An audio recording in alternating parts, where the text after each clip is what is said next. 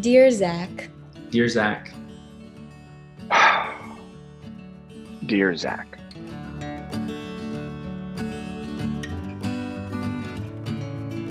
thank you for allowing me to fill some very big shoes and giving me the opportunity to play such an inspiring young individual as yourself.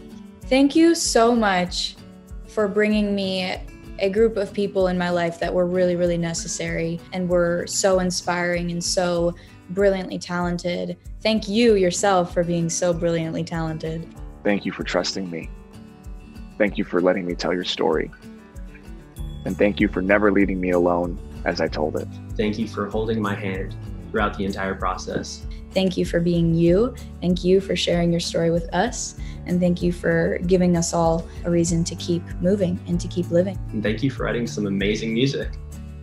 There's a movie about your life, and it's crazy. It's literally, it's one of the best experiences I've ever had in my life. Um, and I think it's going to touch a lot of people, and I think it's going to move a lot of people.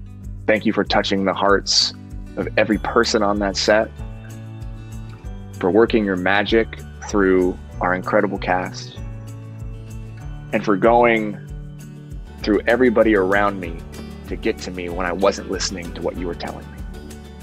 I appreciate you. And I hope I did you proud. And I can't wait for the world to get a chance to be reintroduced to your heart, to your story, and to your music. I love you, man.